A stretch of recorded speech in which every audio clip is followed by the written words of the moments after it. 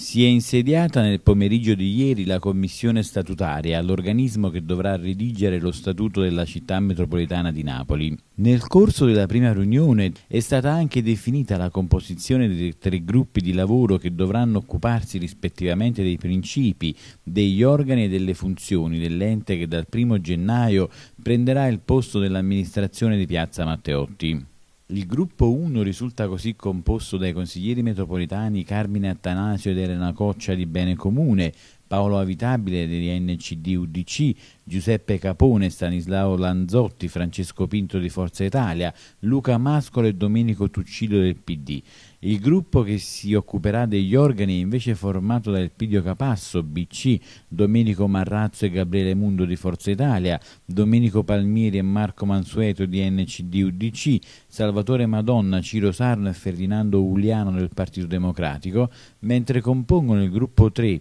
che si occuperà delle funzioni, i consiglieri Davide Lebro e Gaetano Troncone di Bene Comune, Antonio Pentangelo e Francesco Iovino di Forza Italia, Raffaele Lettieri dell'NCD UDC, Vincenzo Moretto, Fratelli d'Italia Alleanza Nazionale e Antonio Borriello e Agostino Pentoriero del PD. Presidente Truccillo, continua il lavoro per lo statuto, oggi si è riunita la commissione, sono stati nominati le sottocommissioni. Sì, si è insediata appunto la commissione, si sono costituiti diversi gruppi di lavoro, un, il primo per i principi generali, il secondo per gli organi, il terzo per le funzioni.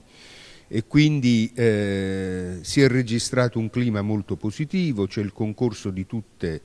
eh, di tutti i gruppi e di tutte le forze politiche ad un impegno corale per la realizzazione di questo grande obiettivo. Mi sembra che si sia registrato appunto uno spirito di grande partecipazione e collaborazione. E con l'insediamento poi daremo vita nei prossimi giorni, dopo le festività natalizie, ai primi lavori, alle prime attività della Commissione per passare alla fase di stesura del, eh, dello Statuto. È rientrata anche Forza Italia? Sì, c'è stata una dichiarazione in tal senso appunto dei consiglieri di Forza Italia che hanno probabilmente anche in questi, in questi, giorni che sono trascorsi hanno ripensato un po' la propria posizione, hanno probabilmente anche